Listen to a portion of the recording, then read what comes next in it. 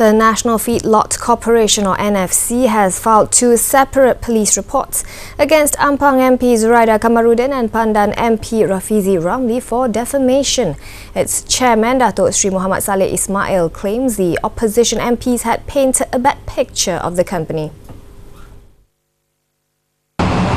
Actually, she never went to NF Corp site so the arrogance on the part of the member of the opposition is blatant. It's almost like our lawyer said just now. It's almost saying to the the public that Auditor General lied. Yeah? So that she, as a member of parliament for Selangor, dare say that the entire Keto project is still in a mess.